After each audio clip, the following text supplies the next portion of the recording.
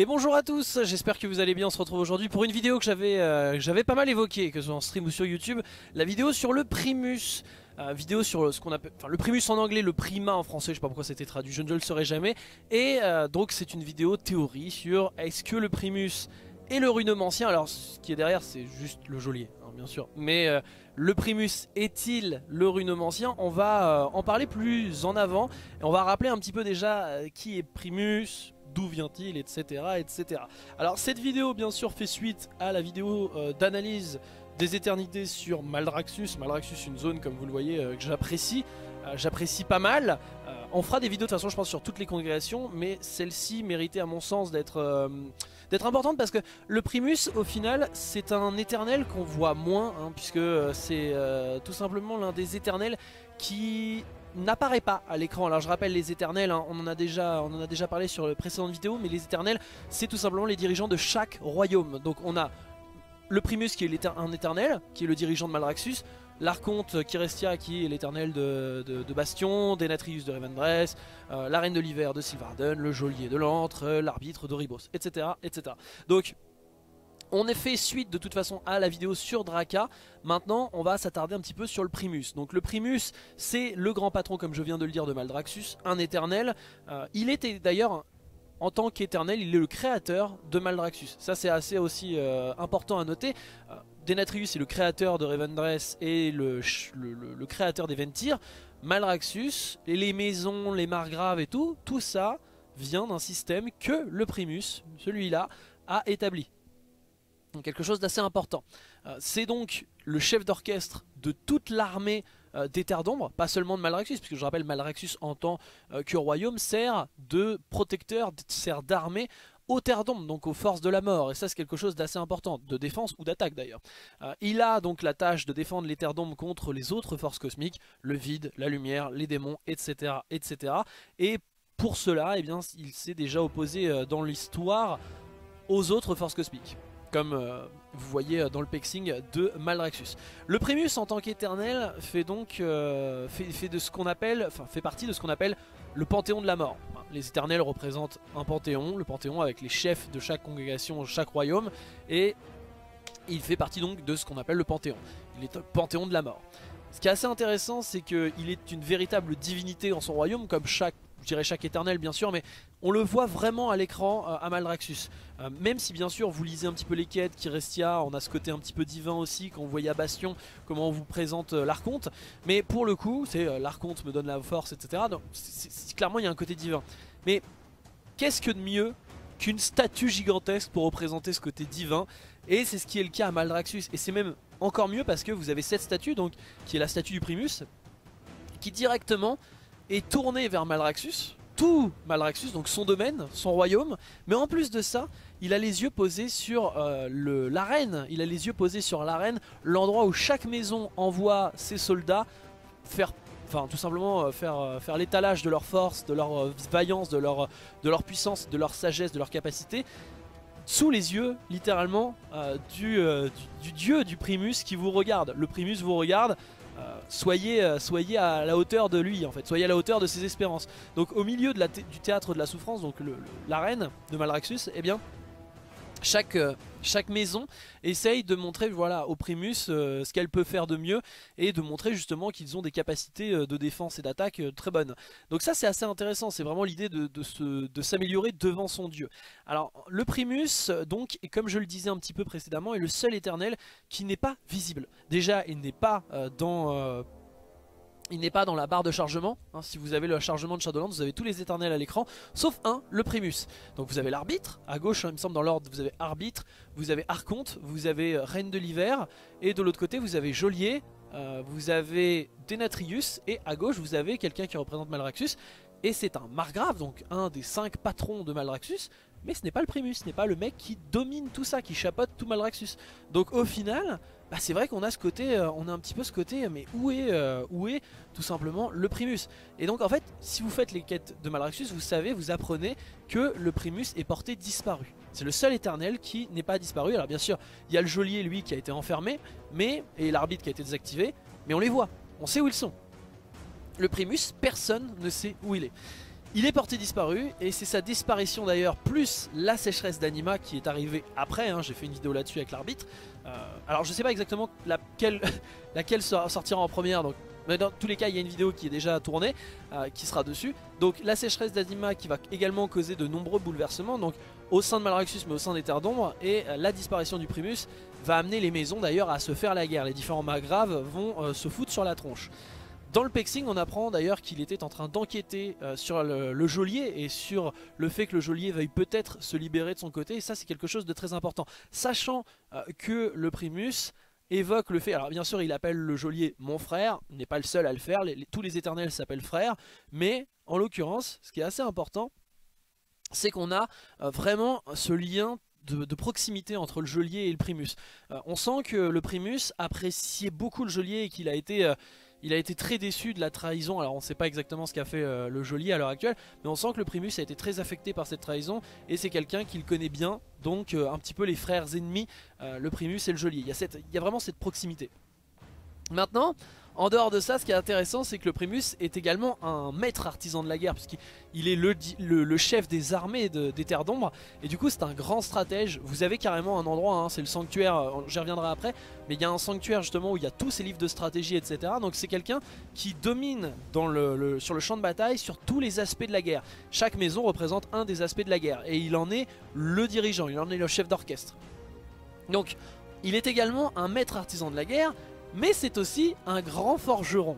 Euh, le Pexing nous le montre également, hein, le Pexing, donc euh, la prise d'expérience à Malraxus, nous montre justement euh, ce côté très grand forgeron avec une lame runique qu'il a lui-même forgée. Alors bien sûr, on a son apprenti, je sais plus Eymir ou quelque chose comme ça, qui, reforge la garde, mais la lame, elle, a été forgée par, le, Primus. Elle ressemble d'ailleurs beaucoup à une autre épée, hein, évidemment, hein, Frostmourne, deuil givre, bien sûr en français. Et d'ailleurs, ce qui est assez drôle, c'est que les fragments, euh, les fragments, quand vous récupérez les fragments euh, avec euh, le piédestal, on y reviendra juste après, mais le piédestal, c'est quand même. vous avez le piédestal, vous avez la lame runique avec des runes qui ressemblent beaucoup à celle de France Monde également, et on y reviendra après. Vous avez donc un piédestal, vous récupérez une épée, et cette épée, à ce moment-là, vous avez des fragments, et si vous regardez les fragments, c'est les mêmes fragments que le domaine de classe des DK, donc des chevaliers de la mort, à Légion où vous alliez reforger les lames du prince déchu, donc euh, France Monde qui forme la lame, les lames du prince déchu. Donc c'est assez intéressant. Et à la bêta, dites-vous qu'à la bêta c'était encore plus flagrant, puisque les symboles, vous savez, pour... Euh, à plusieurs moments dans la, dans la campagne, on, lève l'épée en, l'air et on entend la voix du primat qui nous parle, etc. Bah en fait, à l'époque, le, symbole sur la bêta pour cliquer sur l'épée, c'était littéralement le symbole de Frostmourne. Donc c'est assez rigolo. Et comme vous le voyez, la proximité n'est pas juste un clin d'œil, on a clairement on a clairement une, une France Monde, une France bis parce que vous jouez vraiment, c'est un, gros fan service à Warcraft 3, on va pas se mentir. Vous avez vraiment l'impression d'être Arthas à Warcraft 3. Vous, c'est la merde. Il faut corriger cette merde. C'est vraiment la merde à Maldraxxus, c'est le bordel. Et alors, bien sûr, c'est pas la même. Elle est pas aussi, euh, vous n'êtes pas autant, euh, je dirais, euh, affecté émotionnellement. Mais vous voyez que c'est un problème. Vous venez de Bastion, ça a été la guerre, etc. Vous êtes censé régler le problème. Vous arrivez à Maldraxxus, c'est un foutoir. On vous apprend des trucs et en fait, il y a tout qui pète. Genre, c'est vraiment un problème. Et ça va contre les volontés premières du Primus et de Malraxus, la fonction première de Malraxus. Donc, vous cherchez une épée, personne n'a jamais, jamais réussi à l'ouvrir, etc. Finalement, vous trouvez une épée sur un piédestal euh, avec du coup les, runes, etc. Vous chopez cette épée qui a une garde avec un crâne, etc. Vous avez, il y, a clairement euh, pas de graphique en commune, c'est une monde verte, hein, qu'on soit clair.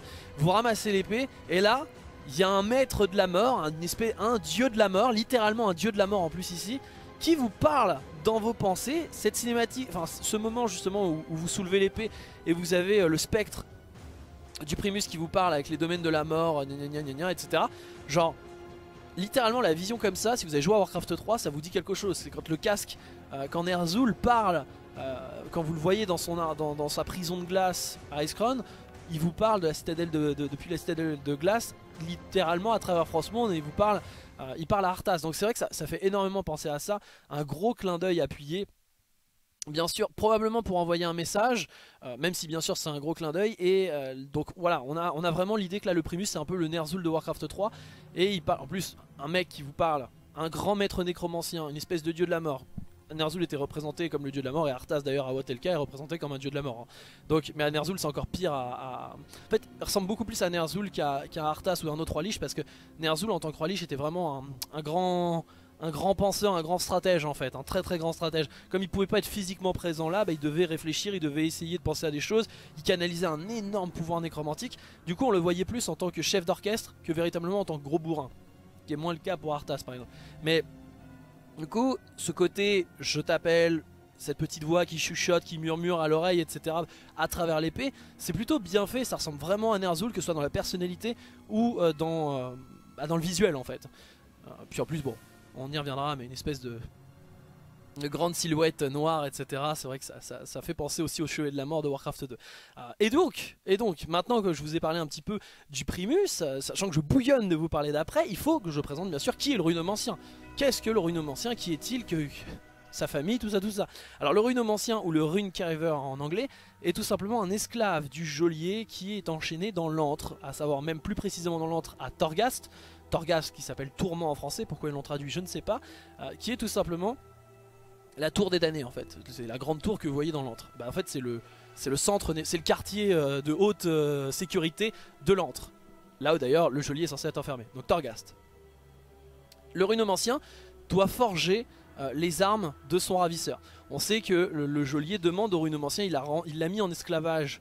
On sait que le runomancien est au service du geôlier et contre lui, hein, c'est pour ça qu'il a des, il est, également attaché. C'est parce que, eh bien, il doit forger les armes du geôlier. Il doit forger. Alors, on sait pas vraiment toutes les armes, ce que représentent toutes les armes, parce que ça se trouve les armées en fait du geôlier. On voit ces espèces d'armures spectrales. en fait, ça se trouve c'est aussi le runomancien qui les forge. On sait pas.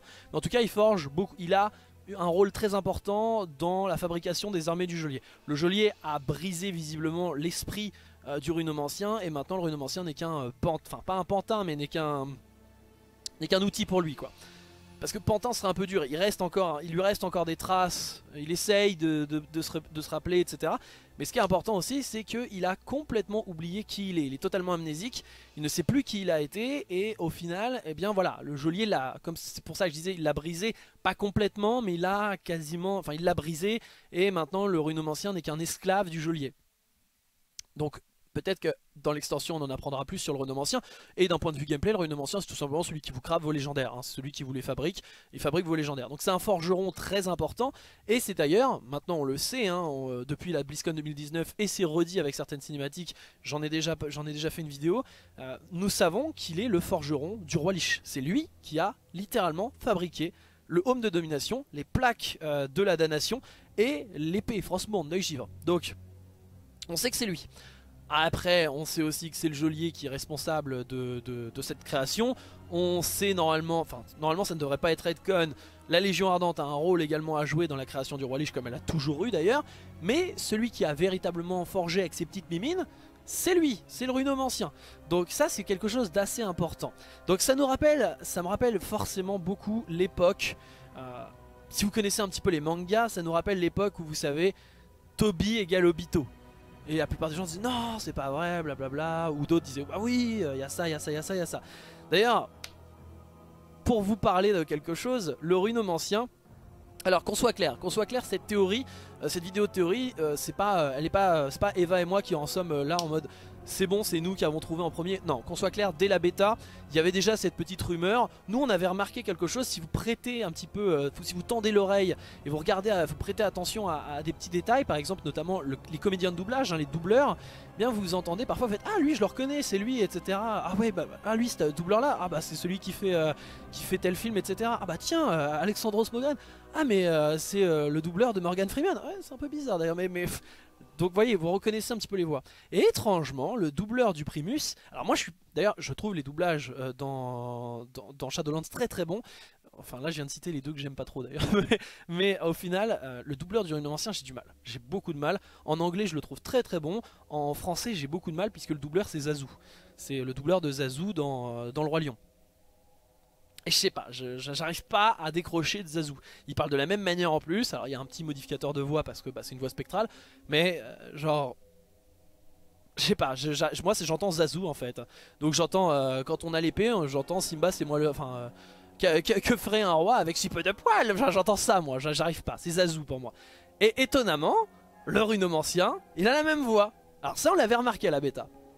On n'avait pas fait attention à, potentiellement plus de détails et c'est vrai qu'on a du coup, on n'est pas forcément à l'origine bien sûr de la théorie, mais en récupérant un peu certaines choses, on a été un petit peu plus loin et en fait on a découvert par exemple euh, que, euh, c'est également mis sur Reddit, mais il y a en fait, euh, ça on l'avait remarqué, la voix en commun, mais ça va plus loin que ça.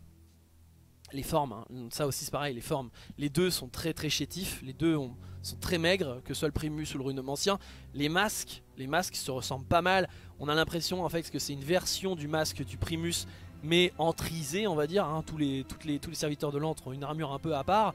Bien sûr on a des runes du geôlier sur, euh, sur le, le, ancien mais du coup il y a, y a, vraiment des aspects en commun, ils ont la même voix, ils ont le même doubleur, sachant que c'est pas qu'en français, euh, il y a 6 comédiens de doublage équivalents, donc le comédien de doublage en anglais du Primus et du ancien c'est le même, en allemand c'est le même, en français c'est le même, en espagnol c'est le même, en italien c'est le même, et je crois c'est en russe je crois aussi où c'est le même, donc euh, sachant que Chine etc on sait pas trop parce que c'est toujours un peu délicat d'aller voir, euh, d'aller euh, d'aller choper les infos, mais c'est quand même c'est pas juste pour la France ou juste pour l'Angleterre, enfin pas juste pour l'international, c'est il y a beaucoup, beaucoup, beaucoup de, points communs en final. Donc on va y revenir juste après, mais c'est vrai que euh, c'est assez intéressant.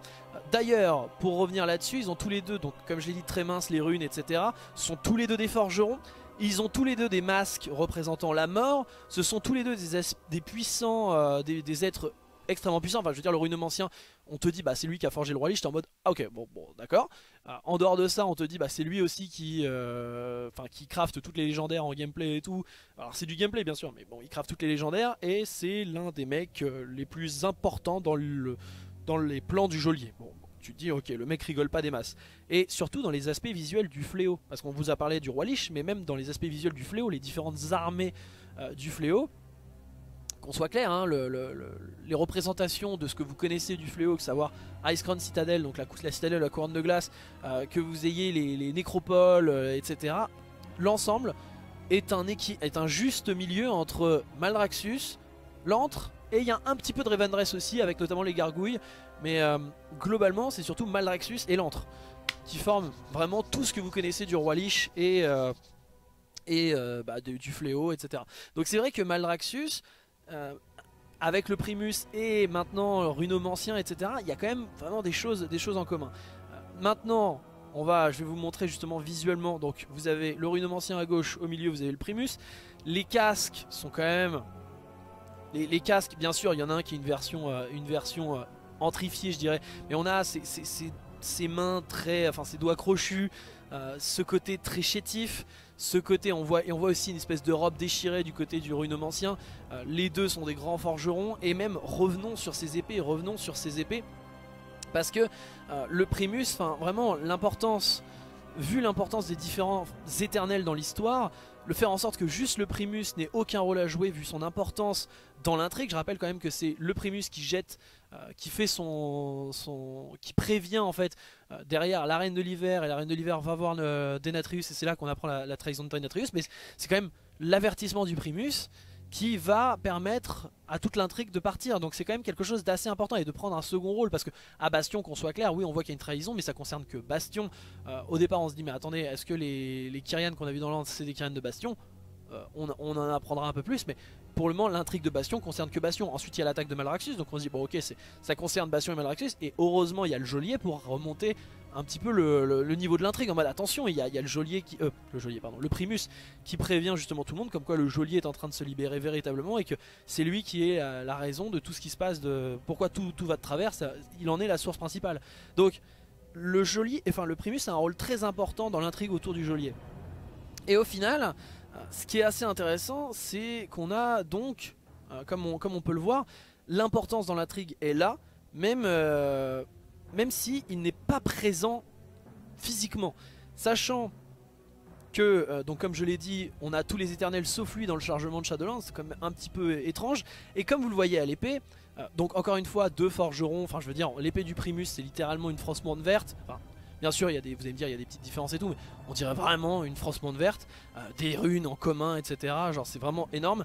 Et d'ailleurs, la petite anecdote, c'est que l'épée du Primus, si vous regardez la garde du Primus, l'espèce de crâne, comme je l'ai dit, vous savez, franchement, on a une espèce de tête de dragon avec, euh, des, cornes de bouc. Ben, si vous regardez, ce qui est assez intéressant, d'ailleurs, c'est une des créatures de l'antre au final, si vous regardez le, visuel. Il faudrait que je, la remontre un, jour, je l'ai déjà montré en stream, mais il y, a un visuel qui, l'épée de Frostmourne, il y a une créature littéralement dans l'antre qui a un crâne avec des. C'est vraiment, on dirait, Frostmourne en version gigantesque, la tête de Frostmourne en version gigantesque. Mais à côté de ça, si vous regardez la garde de l'épée du Primus qui est ici, ça ressemble vachement à la tête du runomancien en fait.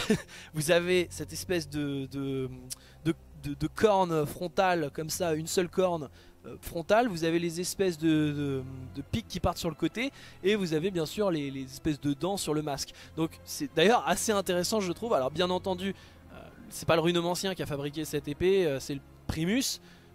Mais du coup c'est assez intéressant que graphiquement il y ait une ressemblance aussi euh, sur, sur l'épée, sur l'épée qui a été forgée. Donc là-dessus c'est assez intéressant. Évidemment euh, cela reste une théorie, euh, bien entendu ça reste une théorie qui n'est pas de nous à la base mais il y a beaucoup de choses qui concordent et c'est vrai que c'est quelque chose sur lequel je voulais revenir parce que ça me tient pas mal à cœur, on a regardé pas mal de choses à côté et c'est vrai que il y a énormément de choses qui concordent. Donc euh, l'un des seuls arguments pouvant invalider bien sûr cela, bah, après c'est pas parce qu'il y a beaucoup de choses qui concordent que c'est forcément le cas, hein. encore une fois ça reste qu'une théorie. Mais le seul argument qui est prenable, qui était de dire bah non en fait euh, il y a tel truc qui montre que c'est pas ça, il y en a quasiment pas en fait, il y en a quasiment pas. Le seul véritable argument qu'on a pu voir sur ce genre de théorie c'est quoi, et d'ailleurs je l'avais noté avant de le voir sur, sur Reddit, c'est le runomancien à 5 doigts. Il a 5 doigts.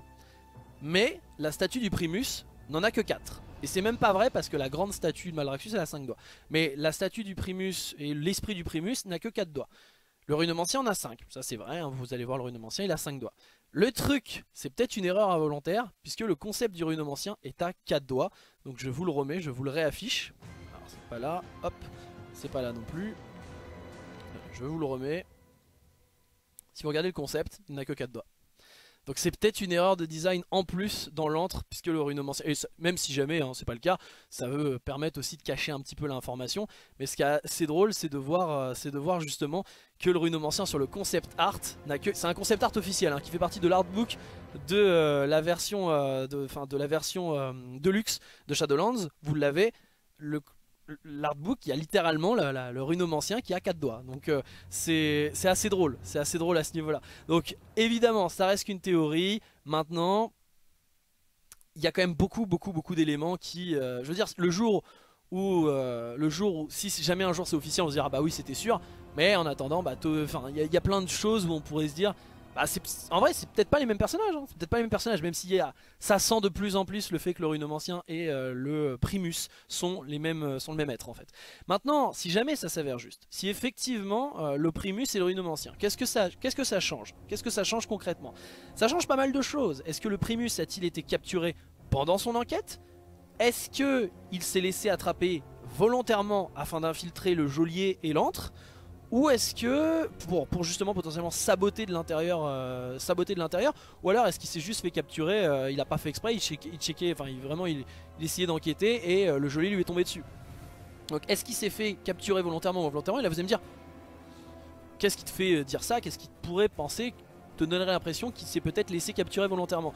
Eh bien tout simplement, je vous en parlais tout à l'heure, je vous en parlais précédemment, il y a une quête secondaire de Maldraxxus, donc au sépulcre du savoir, où vous allez euh, faire les quêtes, etc. Et vous allez ouvrir le sépulcre. Quand vous avez ouvert le sépulcre, il y a plusieurs continu... enfin il y a plusieurs quêtes, etc. Et on apprend que c'est la bibliothèque du Primus. C'est là où il enferme tous ses, tous ses livres, tous ses textes de guerre, etc. Et on sent que le mec, il avait plusieurs sécurités protéger. Donc c'est un savoir très important et qu'il maintenait euh, enfermé, on va dire, pour pas que euh, ça tombe dans les mains de n'importe qui. Ce qui est d'ailleurs très drôle parce que dans les quêtes, elles vont vraiment tomber littéralement au nom de n'importe qui. Mais, euh, mais c'est assez bien fait. Et à la fin, la dernière épreuve pour avoir accès justement aux connaissances les plus cachées de Malraxus et des Terres d'Ombre, eh bien, ce qui est dit, et on voit d'ailleurs une bestiole, on voit littéralement un spectre avec, vous savez, les voix de Banshee, le spectre de l'antre, un spectre de l'antre, et il, il vous dit il faut tomber pour se relever et accéder au savoir caché. En fait, littéralement, ce que la quête te dit, c'est qu'il faut sauter de la tour. Et en sautant de la tour, ça va TP du toit en fait de la bibliothèque. Tu sautes et ça va te, ramener dans euh, un endroit caché justement où il y a les textes les plus importants de, de, Malraxus avec la stratégie du Primus, etc. Donc c'est assez intéressant parce que il faut tomber pour se relever, pour avoir accès justement à la connaissance, à l'ultime, etc. C'est assez drôle parce que est-ce que ça pourrait être une figure de style? Est-ce que ça pourrait être un écho justement à ce qu'il a voulu faire lui-même? En mode, bah il s'est fait attraper par le geôlier pour pouvoir devenir justement un, des, un de ses sbires, etc. Et il aiderait par exemple, pourquoi pas, alors bon le problème c'est qu'il s'attendait pas à se faire briser, ou peut-être qu'il s'y attendait aussi, mais euh, que du coup, eh bien Sylvanas par exemple, qui selon, ma propre, selon mes propres théories, euh, va faire un peu de même en fait, hein, va, s'allier au geôlier et en fait bah, va le trahir, va, va, saper en fait, va, s'allier au geôlier temporairement et finalement le, mettre fin à ça.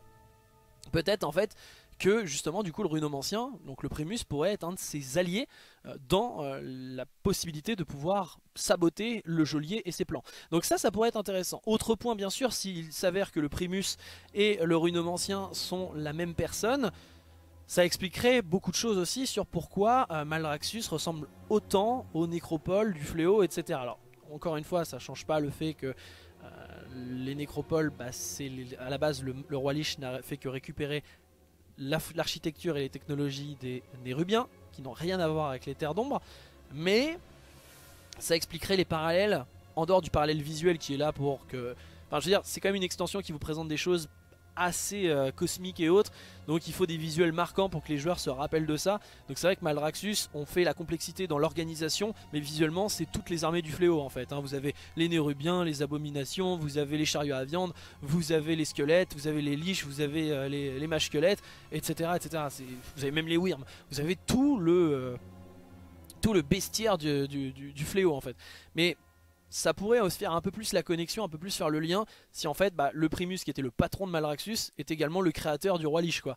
Enfin le forgeron du roi Lich. Ça, ça, ressemblerait, enfin on comprendrait aussi un petit peu la ressemblance visuelle, même si je le rappelle, visuellement le fléau il tire sa architecture des Nérubiens. Alors peut-être que Blizzard pourrait te dire que les Nérubiens ont, euh, voué un culte à un moment donné au, au Primus, peut-être, et du coup ce serait euh, le serpent qui se mord la queue, mais c'est pas pas Malraxus hein, à la base le fléau. C'est les Nérubiens au niveau de l'apparence visuelle et autres. Donc c'est assez intéressant euh, personnellement je pense que dans la création c'est vraiment vraiment très ballsy de la part de Blizzard de nous faire euh, d'avoir un personnage aussi important que le Primus sans aucun visuel. Je veux dire, visuellement le perso euh, n'a pas de CGI, tous les éternels ont des CGI, là c'est Crixus qui est en CGI dans les cinématiques de, en, très très belle qualité de cinématique pour euh, présenter Malraxus, c'est même pas le Primus, le Primus a une construction vraiment dans l'ombre, sans mauvais jeu de mots, donc c'est quelque chose d'assez intéressant. Donc j'espère honnêtement euh, que... Euh, alors bien sûr, faut pas trop croire en la théorie, parce que si jamais c'est pas ça, on peut être déçu et autres, même s'il y a quand même de gros gros gros éléments qui valident le point, c'est quand même quelque chose d'assez intéressant, et bah, j'espère que ça, ça s'avérera bon même si c'est pas ça, si c'est pas le cas, bon j'espère aussi qu'ils arriveront à, creuser quelque chose, mais ça sent quand même, euh, il y a de grandes chances que le Primus soit effectivement le runomancien, mais il faut garder le conditionnel c'est important, tant que ce n'est pas officiel, tant que ce n'est pas officialisé, il faut rester au conditionnel. Donc le Primus serait, il y a de grandes chances que le Primus soit le runomancien, maintenant est-ce qu'il l'est vraiment? Faudra attendre la validation de Blizzard, ce qui est sûr c'est que ça euh, pourrait permettre d'avoir pas mal de choses, et au final tous les éternels seraient bien présents. Encore une fois ça veut pas dire, c'est pareil, hein, Primus potentiellement est mort, Runomancien c'est un autre mec, ce serait pas du tout incohérent ou quoi que ce soit, ce serait pas un problème. Le Primus, c'est pas parce que le personnage a eu vachement d'importance dans la qu'il doit forcément être là, vivant, montré. Au contraire, ce serait même intéressant. Bah non, c'était quelqu'un qui avait très, qui avait vachement d'importance avant, mais c'est fini maintenant. Et au passage, je le rappelle, hein, le Primus a été enlevé bien avant la pénurie d'anima. Hein, c'est quelque chose qui remonte à bien plus longtemps. Voilà. Donc j'espère avoir, euh, j'espère que cette vidéo vous aura plu, que cette petite théorie, que ces petites théories, puisqu'à la fin, là, pour, le coup, c'est plutôt des théories de mon cru à la fin, comme quoi la, quête du sépulcre du savoir, etc. Ça, j'ai vraiment, on avait vraiment creusé. Je m'étais dit, mais attends, mais il y a ça, il y a potentiellement ça. Donc j'espère que ces théories vous ont plu. N'hésitez pas euh, à me donner vos impressions, bien, bien, entendu, dans les commentaires. Vous connaissez le refrain, le petit like, le petit abonnement sur YouTube, le petit, euh, le petit follow Twitch, Twitter, euh, tout ça, tout ça. On se dit à bientôt à Malraxus. Il y aura d'autres vidéos bien sûr sur les autres congrégations. Je sais que vous attendez avec impatience la vidéo sur Sylvarden. Et ce que dit la reine de l'hiver Elle arrive, vous en faites pas. Mais en attendant, vous pouvez follow Twitter, liker Facebook, je sais que vous avez probablement quitté la vidéo. Quel dommage. Bisous